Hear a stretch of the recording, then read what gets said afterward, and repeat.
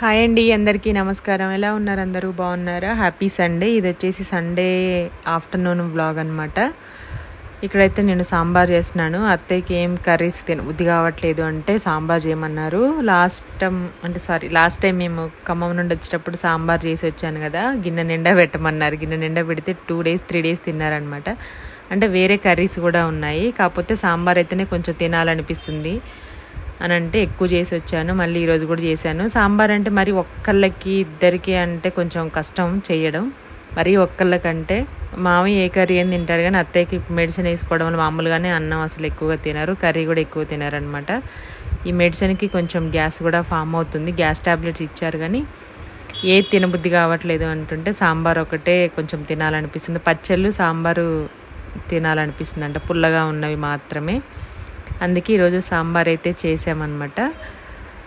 ఇంకా కర్రీ అంటే సారీ సాంబార్కి కావాల్సినవన్నీ కట్ చేసి పక్కన పెట్టేసుకున్నాను నేను. టమాటో మిర్చి ఆనియన్స్ మునక్కాడ సొరకాయ ఇంకా దొండకాయ బెండకాయ వంకాయ మన దగ్గర ఏది ఉంటే అది వేసుకోవచ్చు. వాళ్ళు అవి తినకూడదు కాబట్టి నేను ఓన్లీ సొరకాయ మునక్కాయలు ఉల్లిపాయలు పచ్చిమిర్చి టమాటో మాత్రమే వేశాను. ఇంకా బెండకాయ కూడా వేయొచ్చు కానీ మామయ్య కూడా కొంచెం ఎలర్జీ బెండకాయ తింటే దురద వచ్చేస్తుందంట. వంకాయ ఆలుగడ్డ ఎట్లాగో తినకూడదు కాబట్టి అవి అయితే వేయలేదు. ఫస్ట్ అయితే పప్పు ఉడికించేసి పక్కన పెట్టేశాను. దీంట్లో ముద్దపప్పు కూడా తీద్దామనేసి కొంచెం ఎక్స్ట్రానే వేసాను అనమాట ఇంకా అది కూడా తీసేసే ఆల్రెడీ ఉడికించేసాను అది చల్లారేలోపు నేను వేరే అంటే రెండు సపరేట్ సపరేట్గా చేస్తాను. అందుకే ఫస్ట్ పప్పు పెట్టేసినప్పుడు ఒకసారి ఇలా తాలింపు కూడా వేసేసి ముక్కలు మూత పెట్టేసి సిమ్లో పెట్టేస్తాను. స్లోగా మగ్గుతాయి కదా ఫాస్ట్గా అవుతుందని. పప్పు ఉడికిన తర్వాత పెట్టుకుంటే కొంచెం టైం అవుతుంది. సండే కాబట్టి ఈరోజు కొంచెం లేట్గా లేచినందుకు లేట్గానే తిన్నాం అనమాట టూ ఓ క్లాక్ అయింది. లేదంటే అంటే మందులు వేసుకోవాలి కదా అత్తయ్య వాళ్ళు. ఈరోజు అత్తయ్య వాళ్ళు కూడా లేట్గానే లేచారు. అంటే మెడిసిన్ వేసుకుని పరిగడుపున వేసేసుకొని ఇంకా తొందరగా ఇడ్లీ కాబట్టి ఇంకా తొందరగా అయిపోయింది టిఫిన్. మేమైతే లేచే టైంకి అంటే దీవెన్ బాబు ఇంకా తొందరగా లేచాడు అనమాట హాలిడే ఉంటేనేమో తొందరగా లేగుస్తారు పిల్లలు. మా ఇంట్లోనే కదా ఎవరింట్లో అయినా. స్కూల్ ఉంటే మాత్రం లేపంగా లేపంగా పిలవంగా పిలవంగా అట్లా లేస్తారనమాట. ఇంకా అది మనం కూడా అంతే చిన్నప్పుడు. అలా జరిగిందనమాట. ఇడ్లీలోకే చేద్దాం అనుకున్నా యాక్చువల్గా సాంబారు. కాకపోతే సొరకాయను మునక్కాడ లేవు. అన్ని కూరగాయలు చిక్కుడుకాయ బీరకాయలు అవి ఇవి అన్నీ ఉన్నాయి కానీ మునక్కాడలు లేవు. మెయిన్గా సాంబార్ అంటే అవే ఉండాలి కదా. మా పిల్లలకి కూడా చాలా ఇష్టం అనమాట అవి పప్పు చాలా తక్కువగా వండుతాను. మామూలు పప్పు అయితే చాలా తక్కువ తింటారనమాట. ఒక పూట తిని రెండో పూటకి అంత ఇష్టంగా తినరు. అందుకే నాకు కొంచెమే వండుతాను. అది కూడా ఎక్కువగా వండను. వాళ్ళకి కావాలంటే మాత్రం కంపల్సరీ వండుతాను. మెయిన్గా నాకైతే అంత ఇష్టం ఉండదు పప్పు సాంబార్. ఈరోజు కూడా గోచుకుడే కర్రీ ఉంటే నిన్నటి అది వేసుకొని లాస్ట్లో సాంబార్ వేసుకున్నాను. ముద్దపప్పు మామిడికాయ పచ్చడి ఎవరెవరికి ఇష్టం తప్పకుండా కామెంట్ చేయండి విత్ నెయ్యి. చాలా మందికి ఇష్టం ఉండి ఉంటుంది. నాకు తెలిసి అయితే చాలా కామెంట్స్ వస్తాయి కాంబినేషన్. నాకు పచ్చిపులుసు అను ముద్దపప్పు అన్న కూడా అంత ఇష్టంగా ఉండదు. ఓన్లీ పచ్చి పులుసు వేసుకునే తింటాము. అంటే ఒక్కొక్కరికి ఒక్కొక్కలాగా. పప్పు అయితే మెత్తగా ఉడికిపోయిందండి. దీన్ని అయితే నేను ఏం నానబెట్టలేదు లేట్ అవుతుంది అనేసి డైరెక్ట్గా పెట్టేసినా కూడా మంచిగా ఉడికింది.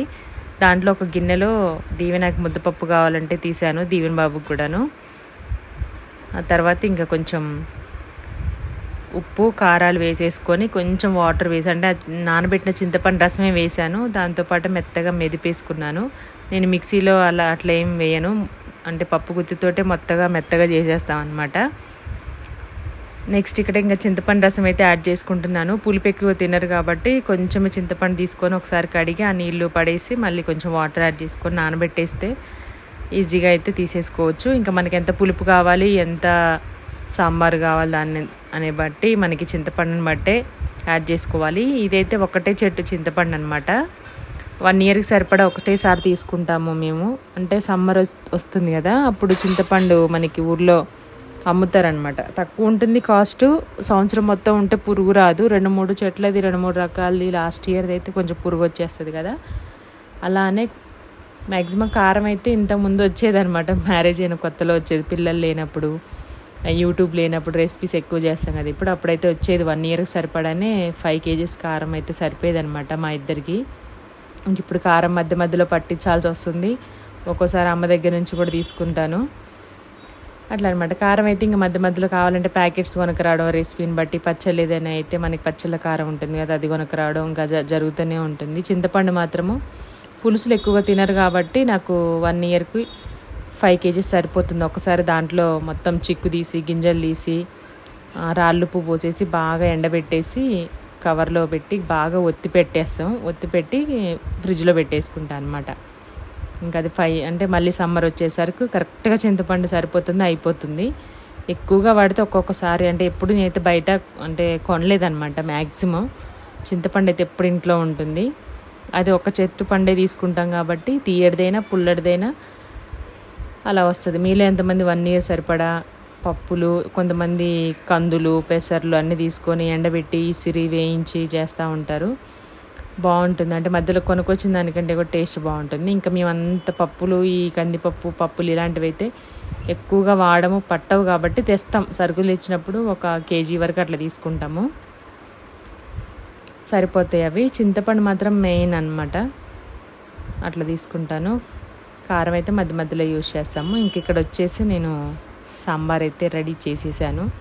ముక్కలు మగ్గిపోయాయి. పప్పులో కూడా ఉప్పు కారాలు అన్నీ అడ్జస్ట్ చేసేసుకొని చింతపండు వాటర్ వేసి ఇంక ఎక్స్ట్రా వాటర్ వేసి ఒకసారి కలిపి ముక్కలలో పోసేసాను. ఒక్కొక్కరు ఒక్కొక్కలా చేస్తారు. నా ప్రాసెస్ అయితే ఇలా ఉంటుంది. కొంచెం ఎండు కొబ్బరి వేసుకున్నా కూడా బాగుంటుంది. కాకపోతే ఈరోజు వేయలేదు అరగదనేసి అత్తయ్య కంటే ఒక్కోసారి అంటే నేను కూడా డిఫరెంట్ డిఫరెంట్గా చేసుకుంటూ ఉంటాం అనమాట ఒక్కోసారి ఇంతకంటే ఇంకా సింపుల్గా కూడా అన్ని కుక్కర్లో పప్పుతో పాటే ముక్కలన్నీ కూడా పెట్టేసి నలుగురికే కదా ఒక పూటకే అంటే మరి ఏం చేయలేమనేసి ఒక గ్లాసు ఒక గ్లాసున్నర అయ్యేంతవరకు అలా చేసుకుంటే డైరెక్ట్గా అన్నీ ఒకేసారి పెట్టేస్తాను. ముక్కలో గిన్నెలో పప్పు.